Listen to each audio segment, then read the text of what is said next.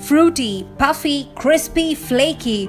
Well, uh, eat the simple snack all with reckless abandon. We drove into the giant bowl of cereal history to pull up 10 bit sized facts about this crunchy breakfast staple. Lucky Charms were invented back in 1963 by General Mills, and the pink heart is the only marshmallow that hasn't been changed in either shape or color during the history of the cereal. Battle Creek Mint is nicknamed the Cereal City because it's the world headquarters of Kellogg's company. Cap'n Crunch's full name is Horatio Magellan Crunch. Kix were created using a puffing gun that expanded dough pellets into different shapes. Thurl Ravenscroft, the man who voiced the Kellogg's Frosted Flake mascot Tony the Tiger, was the same man who sang You're a Mean One, Mr. Grinch in Dr. Seuss.